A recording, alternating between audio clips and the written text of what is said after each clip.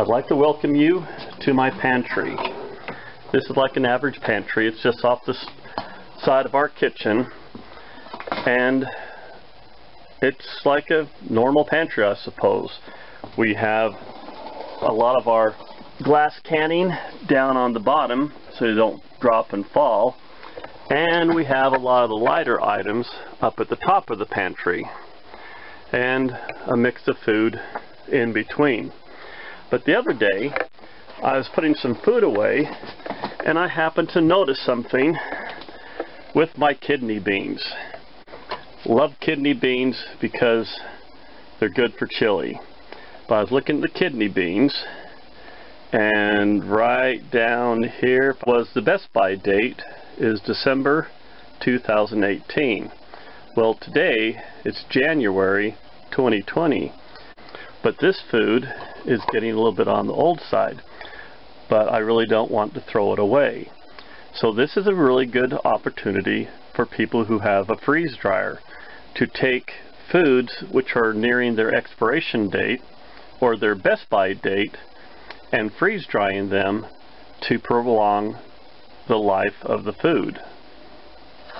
The information provided by the USDA, which is the Food and Drug Administration, deals with cans that are in good condition. I'd like to share with you a bulletin released from the Department of Agriculture.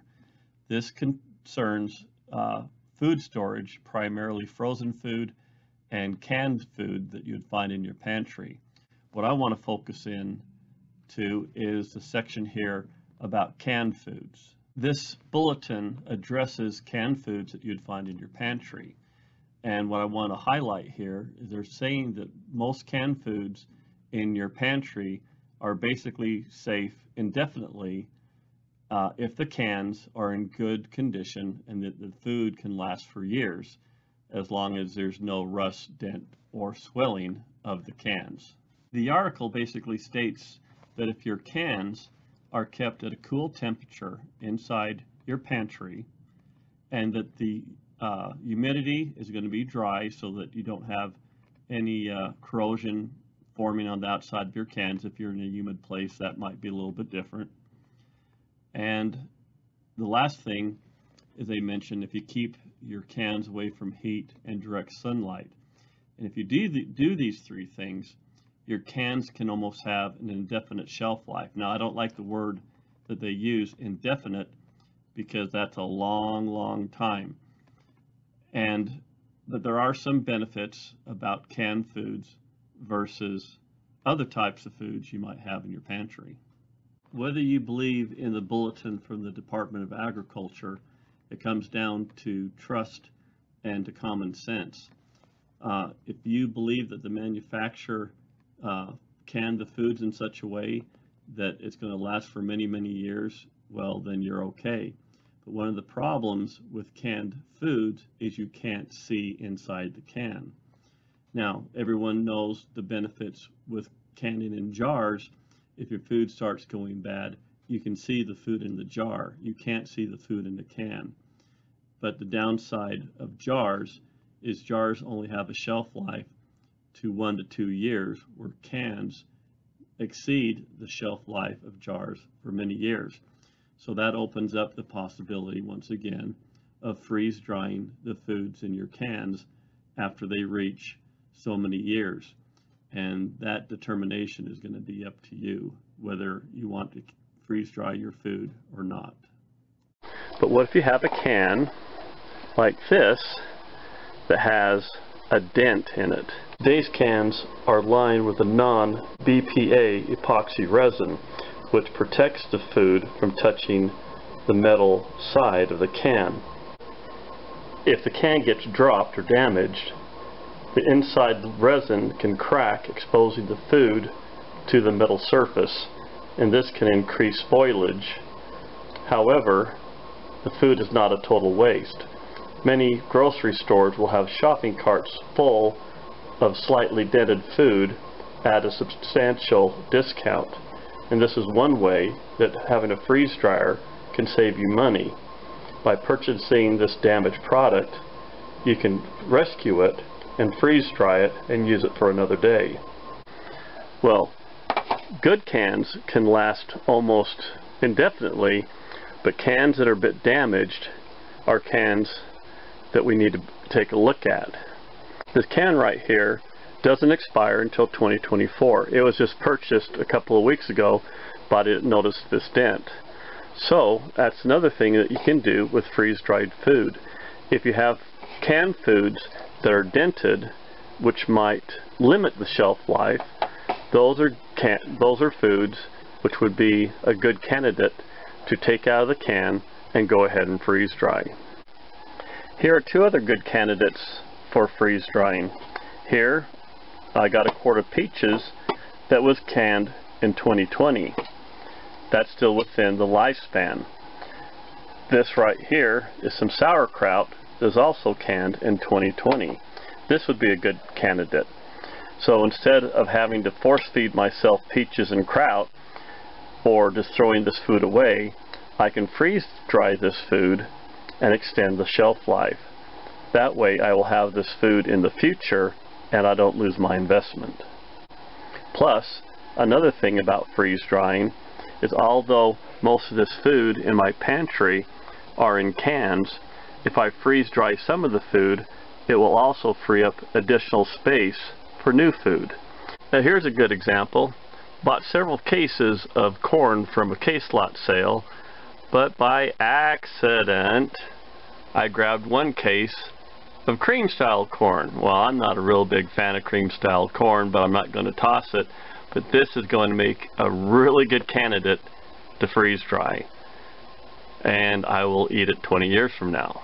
Anyone who's had a freeze dryer should know by now that fatty and oily foods will not freeze dry. So having vegetable oils and cooking oils is something that you just can't do without. Generally the shelf life on oils is two to three years depending on temperature and light exposure. So oils is something you'll have to rotate. Tomato sauces, tomato paste, great things to freeze dry. I've freeze dried many of these things and they reconstitute really really good. Now maple syrup unopened will last almost indefinitely along with honey. Honey may crystallize, but it will last a long, long time. A few foods that are almost impossible to freeze dry. Well, the big one is going to be mayonnaise. Mayonnaise does not freeze dry very well because of the fat, but uh, there are also alternatives to mayonnaise. Uh, a lot of the dressings, because of the oil and barbecue sauce, will not freeze dry, but I've had some success with those. I recently made an attempt to freeze dry vinegar and I basically freeze dried it into oblivion. It disappeared off Vanilla. the tray. But vinegar has a long shelf life so you don't really need to worry about that product. Most spices and seasonings do not require freeze drying because how dry they are. However, can be freeze dried. I had great success with that. So, don't worry about your seasonings. When it comes to canned foods, it's a decision you're going to have to make whether you want to freeze dry them or leave them in a can. But it comes up to a matter of logistics. How much room do you have in your pantry and how much storage room do you have if you want to freeze dry them or not. It's a decision up to you. Now across from my regular food storage I have here, I have my freeze-dried storage. Now just because you freeze dry something doesn't mean you have to throw everything into a jar or a mylar bag, throw an oxygen absorber in it, and seal it. This is my short-term freeze-dry inventory. So I have some zucchini here, I have some jalapenos, I got yellow squash, I have zucchini, uh, I have some taco cheese right here, uh, green peppers, and I have carrots.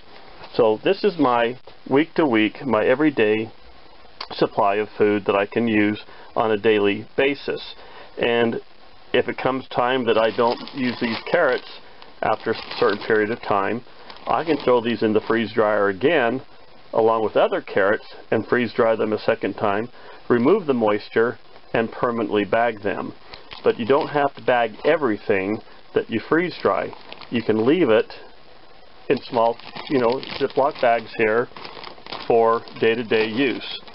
So I found this very helpful to do.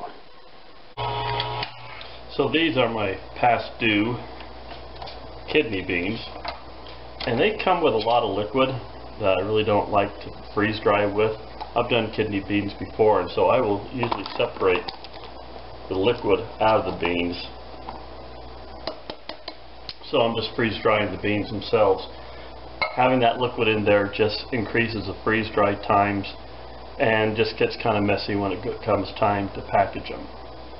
In addition to draining them, the liquid that's in with these kidney beans and many other beans is like a heavy starch liquid that I really don't care for when I make my recipes. So I will also generally rinse the beans with water so they're just a little bit easier to freeze dry. So let's see else what we got here. We got some applesauce uh, that's best used by 2020 and we got some apricot halves. Well here's a good one. These are 2016. So we got these two things. Now back here I got some mushroom pieces and stems and on the box it says April 10th 2017 so let's see. Yep so April 10th 2017 so I have an entire case of mushrooms that are going on five years old. So this is going to be a good candidate to uh, freeze dry so these cans are really small. So I'm putting 12 of these small cans into one tray. And I'm also draining all the water out so we have less to freeze dry. 12 cans is the capacity here. Now this is a lot of mushrooms. And so I think what I'm going to do when I package this up, I'm going to package these in smaller quantities because I'll never use this many mushrooms at one time.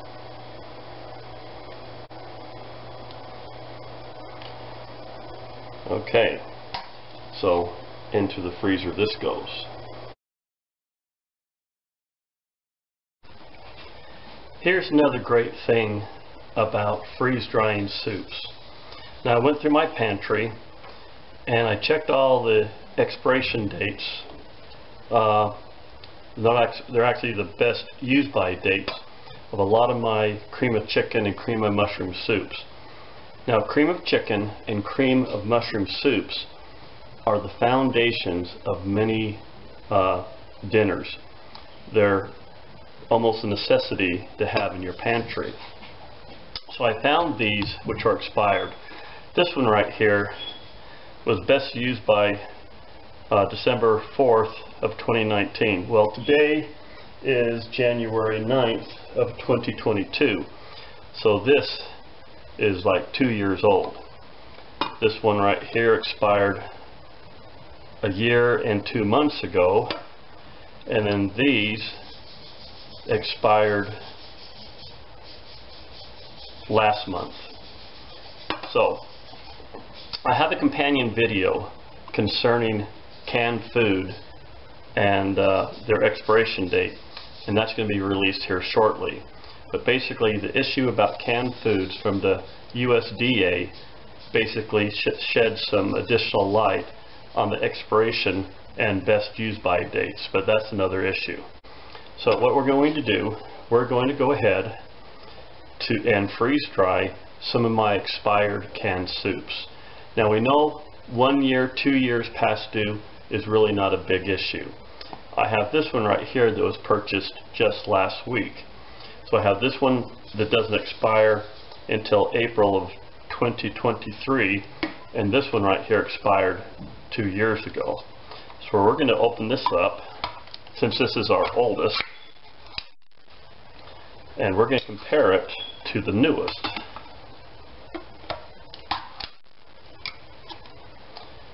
Okay, so as you look at this,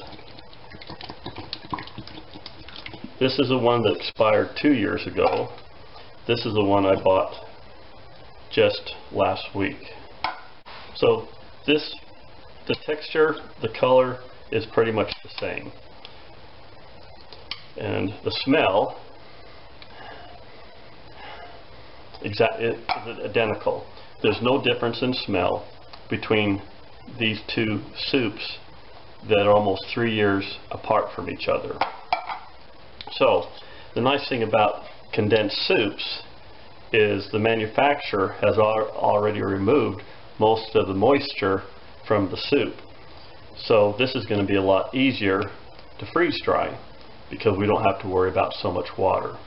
So we're going to go ahead and fill this tray up with this past due soup we're going to freeze dry it and stick it into our freeze dry pantry.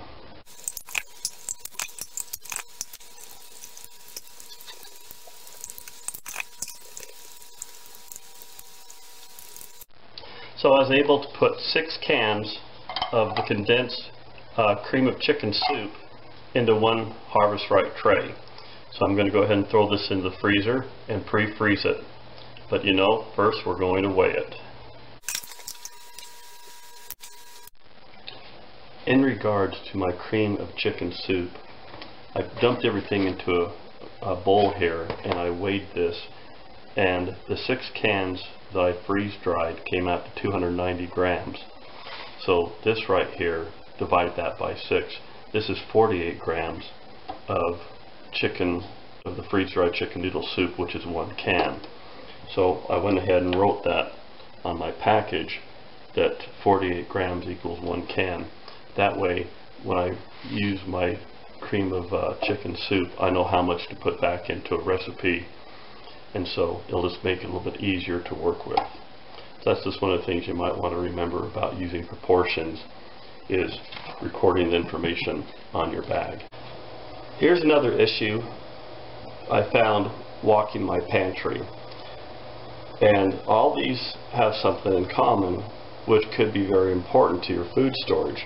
I got my Purina dog chow. I got some Bisquick, cocoa. I got some Kool-Aid, Lipton soup, salt, uh, cocoa mix, cornstarch, and some uh, macro, uh, elbow, some uh, pasta. Well, all these items are basically dry items, and they're going to have a pretty good shelf life. But the problem with all these items is the packaging. Uh, for example, cornstarch is basically packaged in cardboard. Now, if you look inside of here, if I can get this open, there is a bit of a bag inside the, the cornstarch, but it's ex extremely thin, and it's also like a paper bag. So if this were to get wet, your thing of cornstarch is pretty much going to be destroyed. The same as with the salt. The salt is only in a cardboard container. The cocoa's cardboard. The uh, Kool-Aid is kind of a paper with a wax paper in it. I know the, Bis the Bisquick has like a wax paper bag inside of this.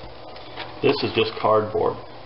So depending on where you have your food storage, you may or may not be prone to flooding.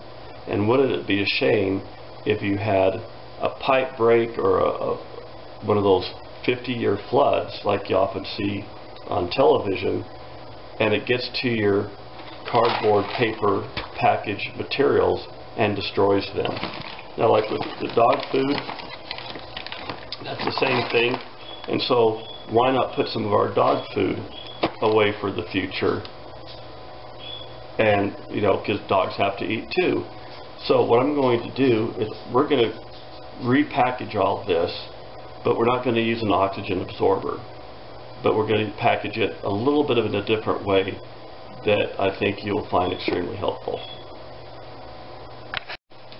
The first one we're doing is cocoa powder. So I've already opened up three of them. I'm putting the fourth one in the bag.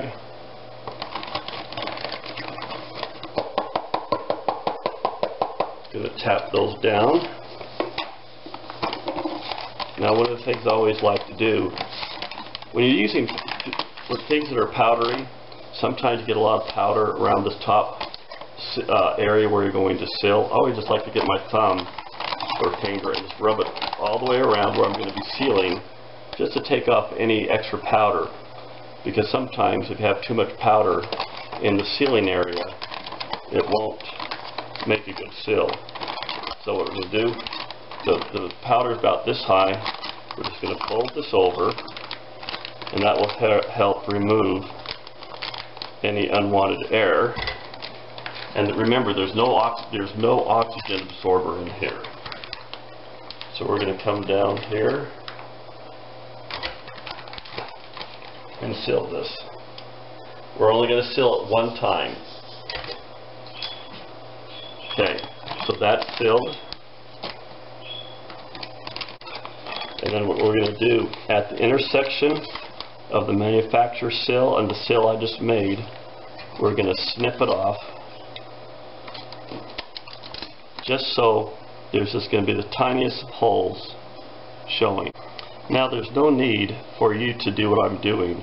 I'm just, for demonstration purpose, I'm just trying to show you where this little vent hole is between these two seams. So as long as you cut it and have a little bit of a vent hole here, then it'll work out just fine. We're going to go to the next step. Now the thing about the Bisquick, it has lots of recipes on the outside. And so I'm going to fold flat the entire box and go ahead and slide it in here and sew it up inside. That way I have access to the recipes in the future.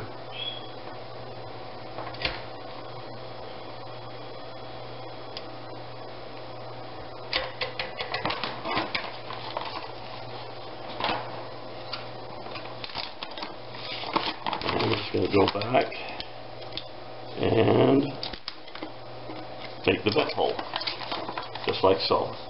Gluten-free biscuit, gluten-free Bisquick, and these are already in little teeny containers, and it's a pretty good plastic container, but we're going to do this anyway.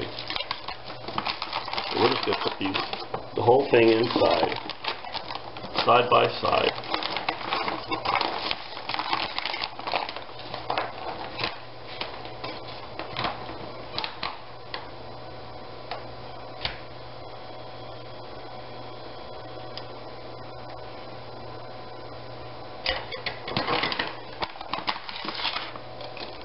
And we're just going to put a little snip in it. Now here's one I overlooked, an important one, sugar. If this bag of sugar gets wet from a flood or a broken pipe, then this is just going to be totally wasted. And I'm not sure if you have been just totally outraged or upset, but when you take, take a look at the price of inflation on food, your pantry is becoming more and more valuable.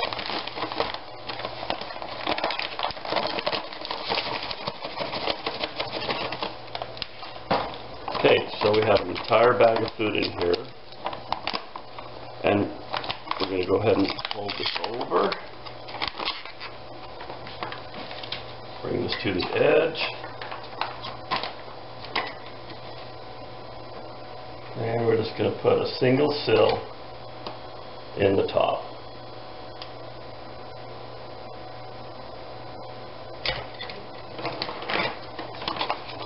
And then we're going to find the we're going to find the intersection, and sometimes it's easier to do it on the back side.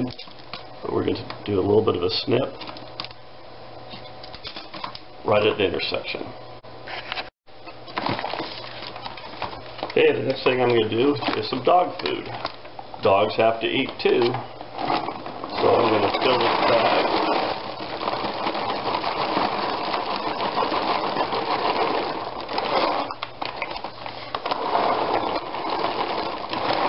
about three quarters full.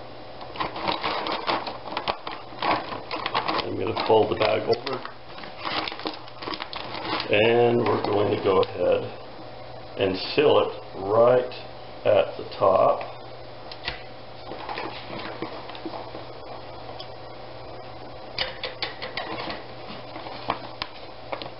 Okay, so we have the manufacturer's edge and our sealed edge right here. And where these two intersect, we're going to come down just about an eighth of an inch, maybe quarter of an inch. And we're going to snip off the top just like that. One last item out of the pantry that would be important to consider would be flour. Now, I'm not going to actually bag this because I need the flour later on today. But if you're going to bag flour, I would strongly suggest to, to put one to two, preferably two oxygen absorbers in with your flour when you seal it. Because even flour, when it goes through the mill, could still have the larvae from uh, grain moth.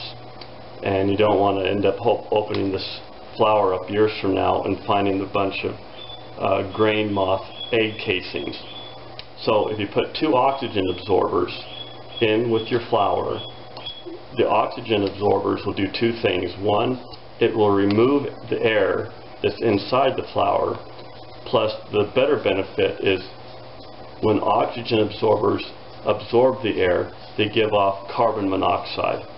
So it's going to create an environment inside the bag with the lack of air and with the carbon monoxide that will probably end up killing any of the grain moth larvae if they happen to hatch or whatever the case might be. It's just uh, a way to get rid of them. Next step, we're just going to pull this corner over just a little bit like that and we're going to go ahead and put these in. We're going to do four at a time and then we're going to go back and seal them. So there you go up to the leaf and we're just going to turn the pump on.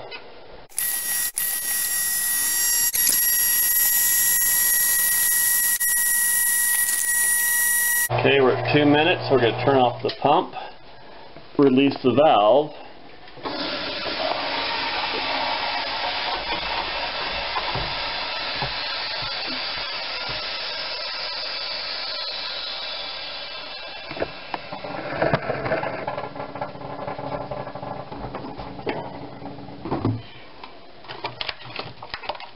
take everything out.